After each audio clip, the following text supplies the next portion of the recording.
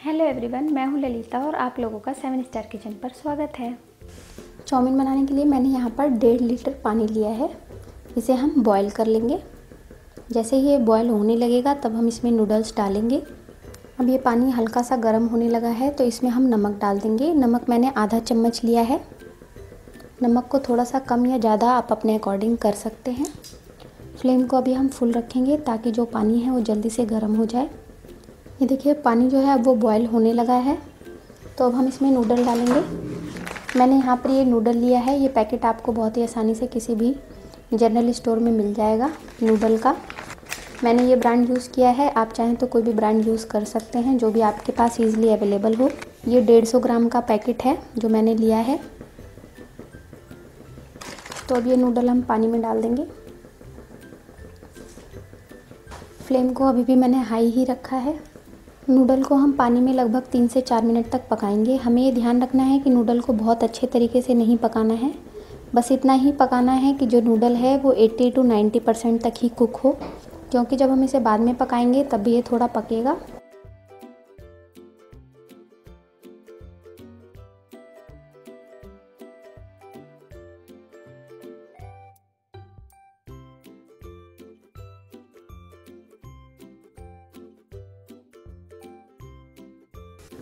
Noodle को पकाते हुए मुझे लगभग तीन मिनट हो गया है। इसे हमने हाई फ्लेम पर ही पकाया है। और अब हम फ्लेम को बंद कर देंगे। मैं आपको चेक करके भी दिखा देती हूँ कि हमें कैसे पता चलेगा कि ये पका है कि नहीं।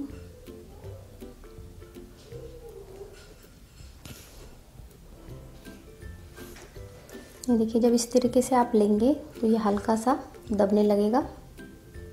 बहुत ज़्यादा भी नहीं दबना चाहिए, नहीं तो ये ओवर कुक हो चुका होगा। तो चलिए अब इसे हम तुरंत छान लेंगे। तो यहाँ पर मैंने ये छन्नी ले ली है, इसमें हम नूडल को छानेंगे। आप डायरेक्टली इसे टैप के नीचे भी छान सकते हैं, क्योंकि इसमें अभी हम ठंडा पानी डालने वाले ताकि ये ओवर कुक ना हो।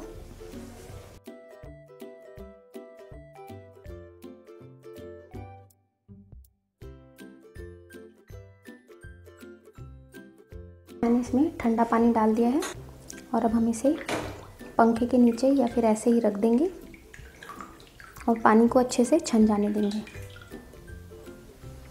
एक चम्मच से डेढ़ चम्मच इसमें हम ऑयल भी मिला देंगे ताकि जो ये नूडल्स हैं वो आपस में मिक्स ना हो।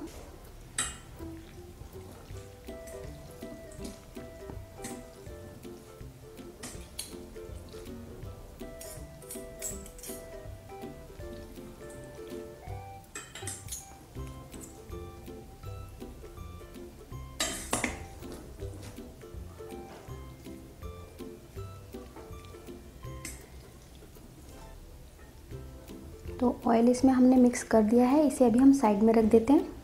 तो अब हमने चाउमीन को फ्राई करने के लिए यहाँ पर कढ़ाई ले ली है। कढ़ाई में हमने डाला है दो चम्मच तेल।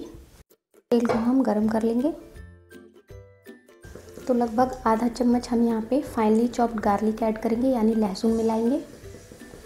यानी लहसुन फ्राई करेंगे।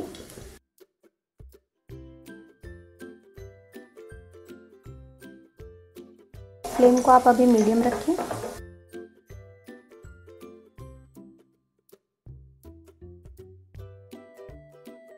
लहसुन अब हल्का सा फ्राई होने लगा है तो अब हम इसमें डालेंगे एक कटा हुआ प्याज। मैंने इस तरीके से लंबा लंबा कट करके लिया है, ये मीडियम साइज़ प्याज है।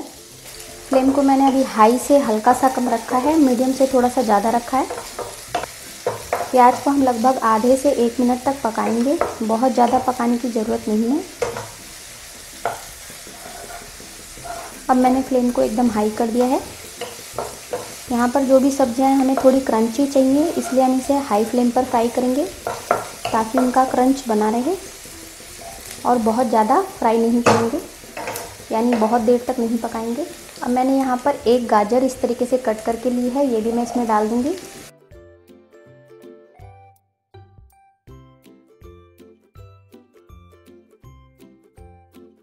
एक हमने यहाँ पर हरी मिर्च कट करके ली है, ये भी हम इसमें डाल देंगे।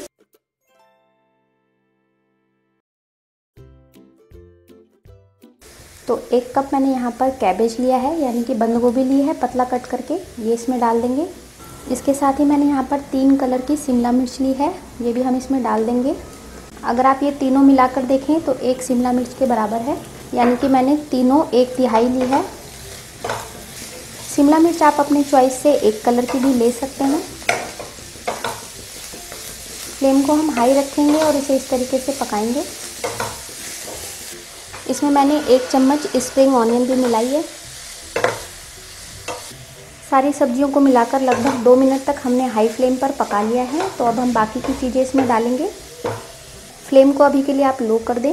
तो दो चम्मच मैंने यहाँ विनेगर लिया है। ये वाइट विनेगर है। ये डाल देंगे, यानी कि खाने वाला सिरका। इसके साथ ही हम इसमें डालेंगे दो चम्मच सोया सॉस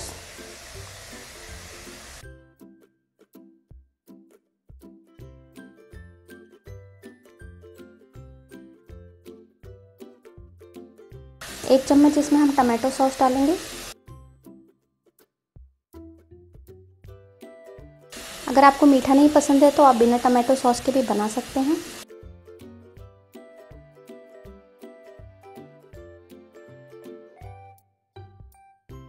अगर आप ज़्यादा तीखा पसंद करते हैं तो ग्रीन चिल्ली सॉस इसमें थोड़ा सा ज़्यादा डाल दें।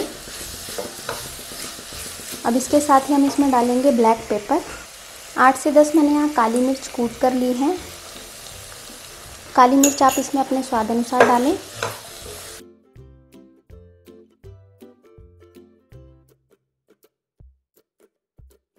अब हम इसमें चाउमीन डाल देंगे।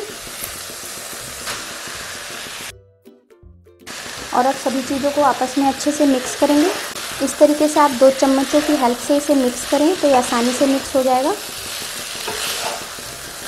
इसे मिक्स करते वक्त फ्लेम को हमें मीडियम रखना है।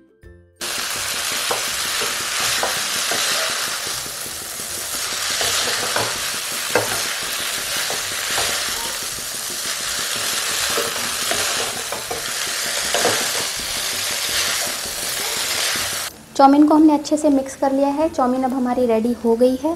ऊपर से हम इसमें थोड़ा सा कटा हुआ स्प्रिंग ऑनियन डालेंगे और इसे अब हम सर्व करेंगे।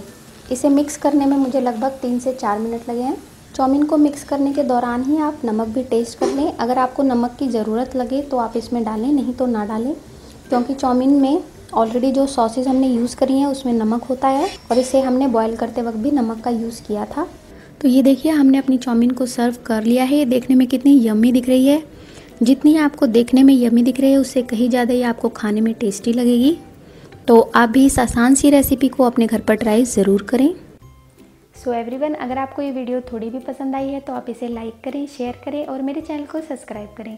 अगर आप ये वीडियो फेसबुक पर देख रहे हैं तो पेज को फॉलो करना बिल्कुल ना भूलें।